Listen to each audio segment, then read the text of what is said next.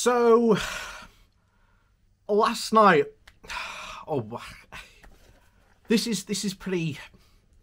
It's incredible, and I, I really have to be stopped saying that you know, and being shocked by the reaction of of Brexiteers to what is going on because last night was the absolute perfect storm to show the absolute not only hypocrisy of Brexiteers, the absolute sheepish nature of Brexit supporters. And I have said before many times, it's not the Brexit supporters we should be going after, it's the Brexiteers. They're the ones who are responsible. They're the ones who have caused all this mess that we are in.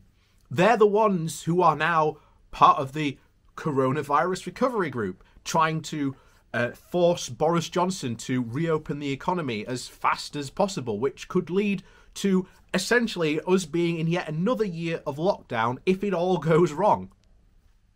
You know, so much could go wrong in such a short time, and yet these are the people that are backing this because they're free market fundamentalists, and all they care about is essentially the market being open.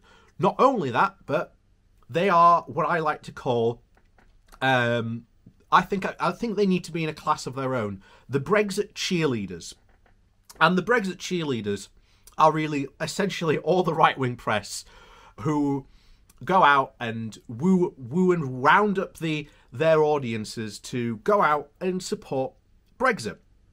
And that's who we're really talking about today, these these Brexit cheerleaders highlighting the absolute worst aspects of Brexit you can possibly think of. So, what happened last night? Well, uh, I was playing D and D. Unfortunately, my character had, uh, had died, so I had a bit of had a bit of time between uh, uh between rounds as to as to uh, as to stuff to do. So, I I decided, oh, I'll have a I'll have a quick um, quick flitter on uh, on social media, and I had a look at Twitter and I just noticed in the Twitter trending um, side, this there was this just one number. It was a thousand, and I'm like, okay, what's what's this? Why is why is a thousand tweeting? Has is there some sort of um, new uh, hashtag? Is you know why why what's this a thousand number? What if this a thousand number people are talking about? And it was about a BBC article. Um, I'm not going to.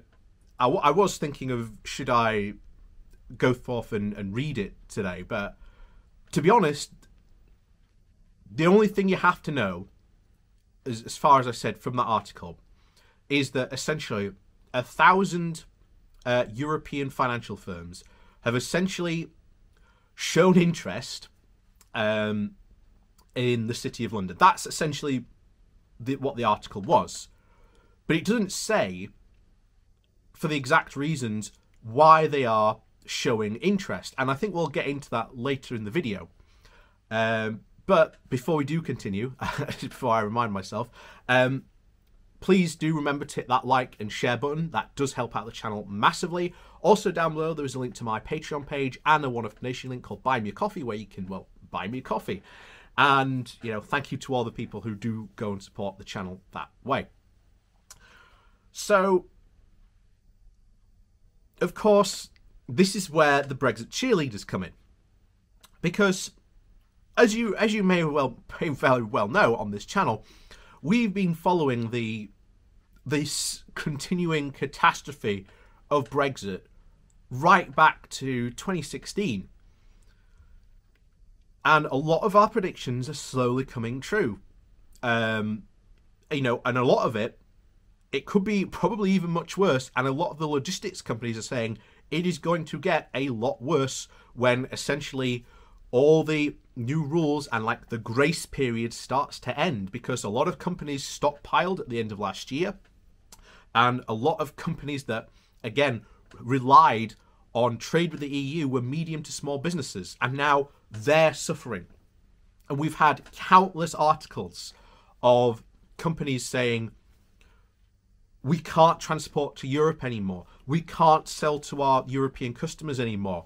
We have lost customers because we can't get that product to them as fast as we used to. You know, we can't do business as we used to. We are less competitive in a in our basically our next door market. And it doesn't matter that a lot of the Brexiteers and indeed the Brexit supporters, uh, the Brexit cheerleaders, shall we say, were last night championing this whole a thousand, saying that you know these businesses were coming to the city of London because of Brexit. Well, hold on for a second, because those aren't the jobs we need in this country. We need good, um, good paying jobs for essentially our lower, you know, the, the working class in this country. That's what they need. You know, and there used to be hundreds of manufacturing jobs. And you're going to see the manufacturing industry in the UK be all but gutted. The manufacturing in this UK will shrink. Um, it's just, you know, it's just how much it will shrink by.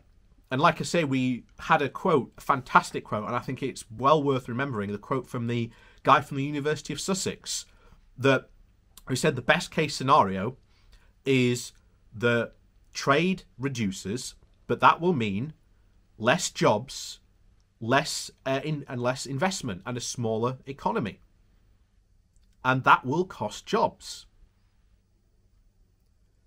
This is just going to be a continuing lurching disaster. And yesterday, all these Brexit cheerleaders were like, ha! Remainers are silent. A thousand jobs coming to the UK because of Brexit. Yeah! Well, first of all, the again, when you read the article, it never actually said that these companies were moving jobs to the UK. Indeed, many of these financial companies, and I think many people myself suspect, what these are really going to be is that they're just going to set up a, a post box. You know, these financial companies probably do have toeholds or some sort of business in the UK. So essentially, for them to continue doing business, they just need a post box. That doesn't bring jobs, investment, or anything like that to the UK. So and I, I, have said it right from the very beginning of this year.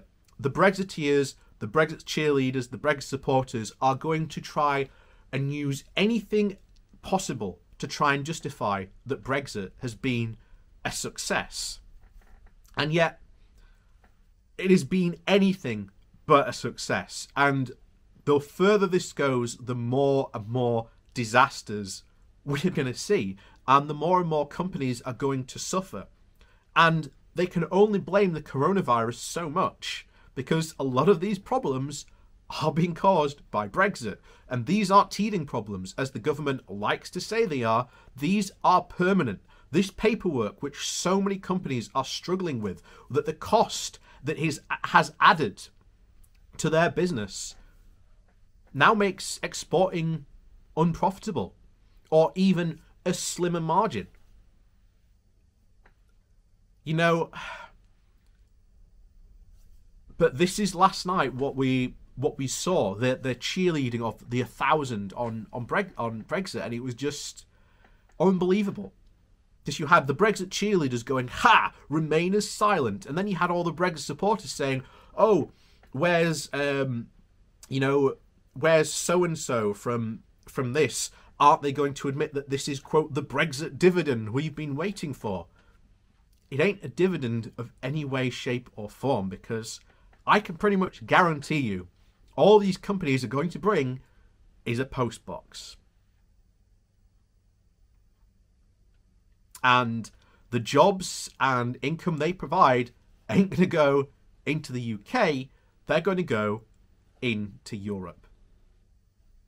So, once again, we have the highest form of absolutely Brexit ridiculousness brought to you by, well, the Brexit cheerleaders. Um, and, you know, they'll be the ones, you know, saying in a couple of years, why is our economy so bad? Why is it so bad? Oh, it must be that dastardly EU. you know, it just it's beyond belief sometimes. It really, really is. But what can you do? So, anyway, as always, thank you for watching. Please do remember to hit that like and share button on your way out. And of course, down below, there's links to my Patreon page and a one off donation link. And thank you very much to the people who do support my channel. Um, either either way, either if you just hit those like and share buttons, or you are a subscriber to my Patreon, or you've dropped a bit of a tip in my tip jar for me to buy a coffee. Anyway, uh, that's that, and we'll see you all next time.